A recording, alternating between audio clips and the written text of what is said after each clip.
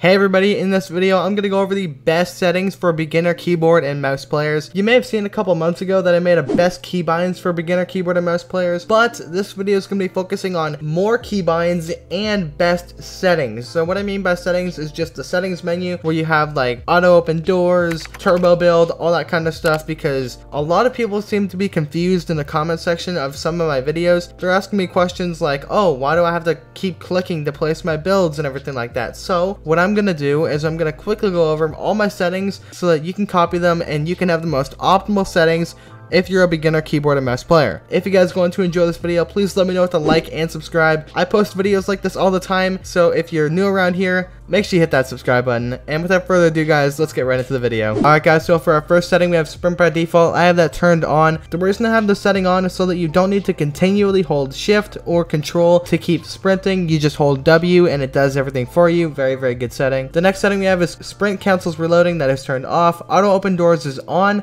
especially if you're a beginner player and it's just one less keybind that you need to press because we already know that you're probably not too used to the keyboard because maybe it's your first time playing an actual actual game on keyboard and mouse. Who knows, right? That's one less keybind you gotta press, especially if you're trying to just open a door, do whatever. Have that turned on so that when you walk up to a door, it just opens automatically for you and you don't need to worry about pressing any more buttons. And for the combat section, we have hold to swap pickup. We have that turned off. Toggle targeting is turned off. This setting right here is basically when you can zoom in and ping where an enemy is. So, oh, there's an enemy over there. You can zoom in and ping just to get a more accurate location of the enemy. Auto pickup weapons is turned off. That is a pretty weird setting for me. I've never had that turned on because, you know, it just sometimes just swaps your guns and I don't really like that. Auto store consumables to the right, always have that turned on. That's a very important setting and I think you need that. This setting is very important if you want to have your meds in your right hand side of your loadout. It's a very, very good setting because it automatically does it for you and you don't need to open your inventory. It just does it automatically for you and it's super great. And for the building section, reset building choice is off, turbo building is on. I get a lot of comments about about this, like,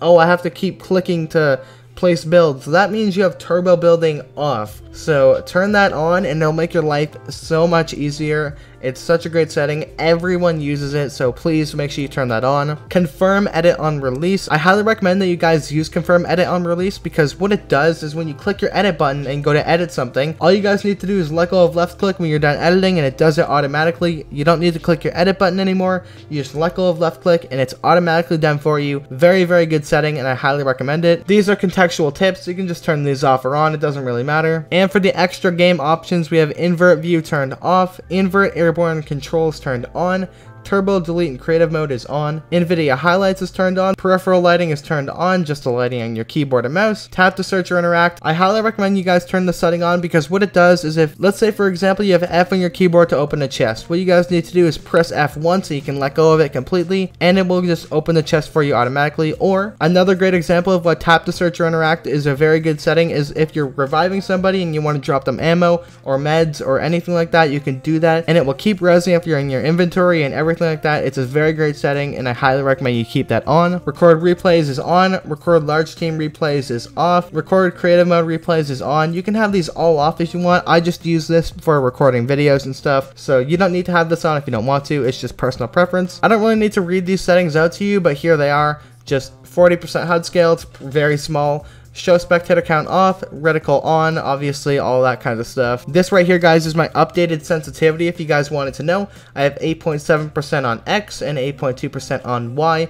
My targeting sensitivity is 31.5 and my scope sensitivity is 39.2. Ignore gamepad input off and lock input as mouse off and these two settings here don't really matter. These are controller options but we already know we're not doing that. Just audio settings, very basic settings, and these right here are my current keybinds. You guys do not need to use these, but if you want to see updated keybinds for beginner keyboard and mouse players, I actually have an entire video dedicated to that. But these keybinds are not the beginner keybinds. But if you guys want, I'll just scroll right through these really quick just so you can see my keybinds if you want to copy them. They're very close together keybinds as well, since I don't like reaching all over the keyboard either. So yeah, here are my keybinds, obviously WASD, spacebar, equals auto run, it's always been just the default setting. Crouch, left control. Fire on target, obviously left and right mouse button. My reload button is R. Use is E. Harvesting tool is tab. Weapon slot 1 through 5 is 1 through 5 on the keyboard. Crouch while building is left control. My wall is my back thumb mouse button. My stairs are thumb mouse button 2, which is just a mouse button that's right in front of the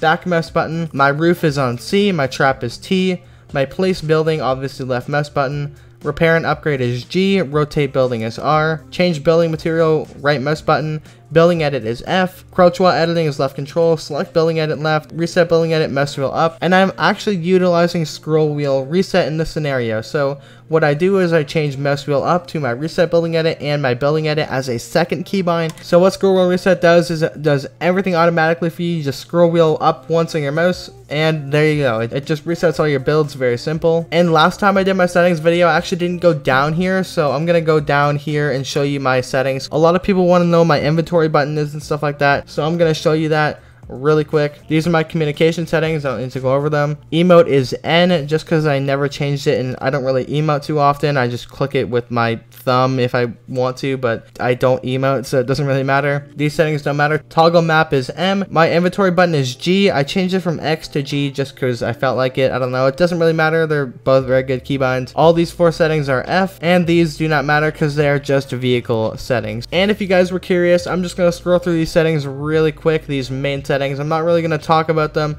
I'm just going to go through them. These give me about 170 FPS in game on a 1660 Super, so if you want to copy these settings, if you have that same graphics card, be my guest. It's all good. These are really good settings. I just want to take this little bit of appreciation for you guys for getting me to 2,000 subscribers. I literally could not have done it without you guys, and it's such a great thing to see, so thank you guys so much for that building this community around tips and tricks has been something that I've absolutely loved for the past couple of months and it's all because of you that I am having such a great time on YouTube every single day. So thank you guys so much for that. I genuinely mean that. 2,000 people strong. That is phenomenal. Hoping to expand the community, help more people. That's the best thing. That is my goal. Just help as many people as possible. That's all I want out of YouTube. If you guys have any video suggestions of tips and tricks that you guys want to see, I would love to hear that in the comments down below. If I use your video suggestion, I will shout you out at the beginning of the video because I greatly appreciate when you help me get video ideas